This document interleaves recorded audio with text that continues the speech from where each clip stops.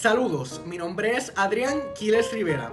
Como parte de los requisitos del curso HESP 2203, sección 48927 del doctor Víctor Maldonado, estaré realizando esta tarea grupal junto a mis compañeras Keila Vargas, Yacheika Acevedo y Ámbar Torres, relacionado al poema Insomnio del poeta José Gautier Benítez de procedencia puertorriqueña.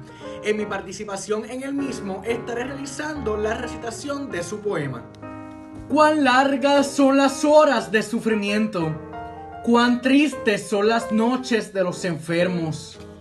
Por el día, los ruidos y el movimiento, el calor de los rayos de un sol en fuego, y la brisa que pura restaura el pecho, el jugar de los niños siempre contentos, el estar en la casa todos despiertos la abundancia de vida y el bien ajeno sobre los propios males extiende un velo.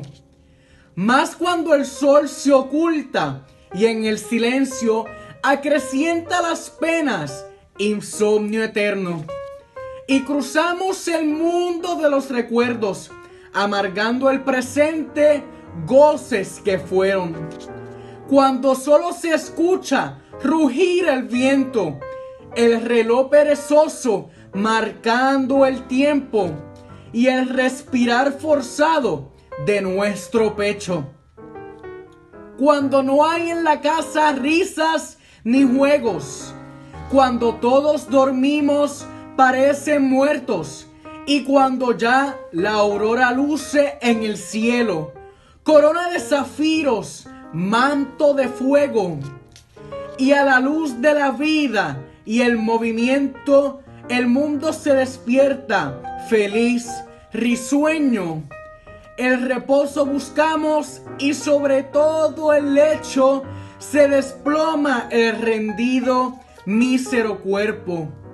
Lo que pasáis la noche placer bebiendo en el baile y la orgía, teatro y concierto. El espíritu alegre, robusto el cuerpo, que ignoréis siempre, siempre pido en mi ruego. Cuán largas son las horas de sufrimiento, cuán tristes son las noches de los enfermos.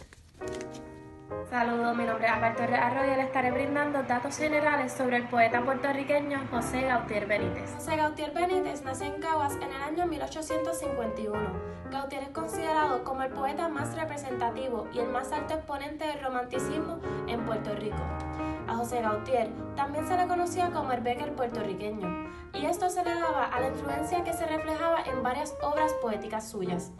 Por su elegancia en estilo, su delicado sentimiento y fina dicción, fue uno de los exponentes más grandes y reconocidos del romanticismo.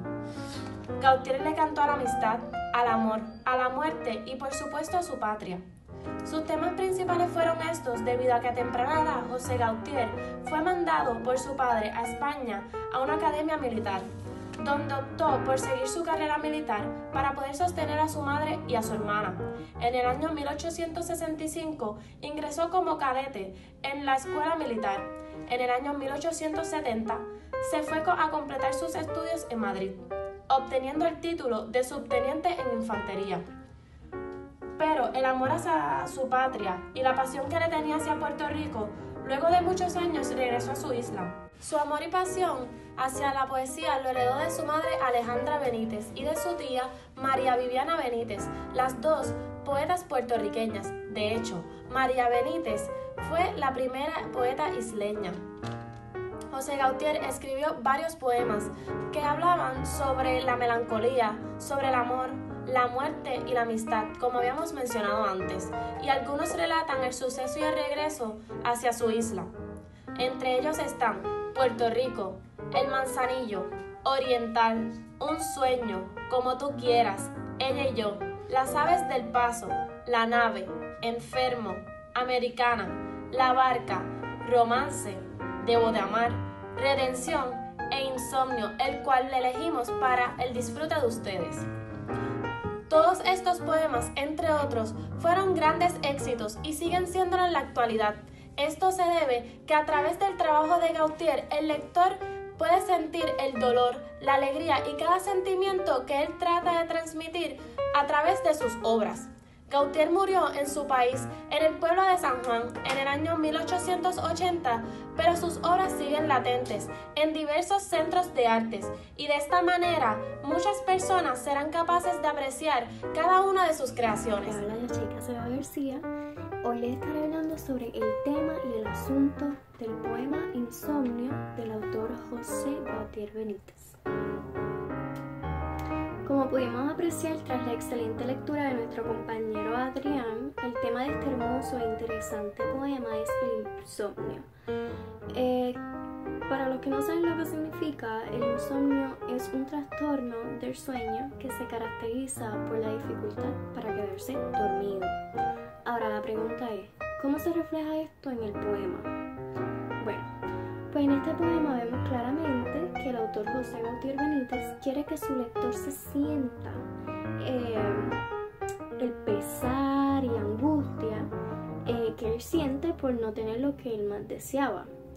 Y también el conflicto que éste causó, pues gracias a estos sentimientos y pensamientos se le hacía muy difícil el poder dormir. Así que debido a esto él se siente muy abatido y afligido. ¿Y a qué se debe esto? Bueno, pues su dolor se debe al no poder vivir en la tierra en donde nació, la isla bella de Puerto Rico. Nosotros los puertorriqueños que vivimos fuera de Puerto Rico, eh, como fue el caso de Gautier, pues vivió varios años fuera de la isla. Sabemos lo difícil que es no poder estar en nuestra patria junto con nuestras amistades, familiares, especialmente si fuimos nacidos y criados en ella. En sus letras podemos notar el sentir de su pensar en cuanto a esta situación. Para referencia, eh, estaré leyendo nuevamente la cuarta estrofa del poema y dice así. Mas cuando el sol se oculta y en el silencio acrecienta las penas, insomnio eterno, y cruzamos el mundo de los recuerdos, amargando el presente, gozos que fueron hace sentido con el tema de este poema porque el autor dice que al llegar la noche, ahí es cuando su tristeza lo ataca.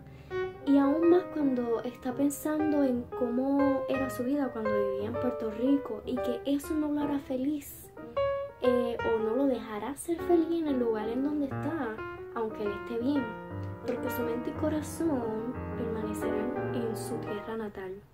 Tal como dice la canción, yo sería borincano aunque naciera en la luna, ya que el único lugar que le trae orgullo y felicidad a Gautier fue Puerto Rico.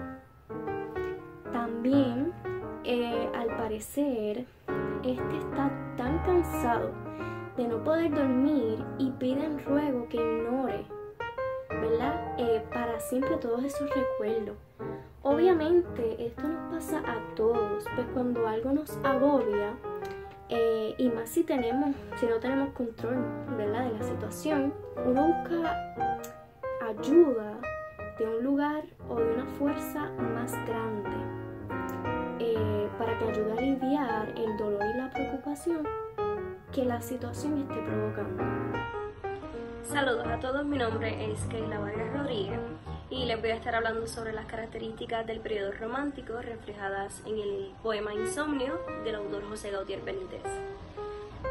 La poesía en el periodo romántico en Puerto Rico se caracterizaba por abarcar temas tales como la historia, el nacionalismo, el destino, el sentimiento, el amor por la patria, la muerte, la naturaleza y Dios.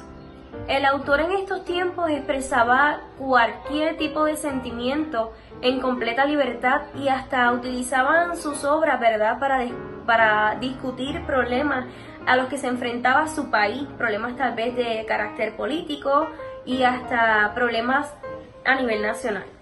Insomnio es un, un, poema en el que podemos apreciar la postura de José Gautier Benítez ante el tema de la muerte.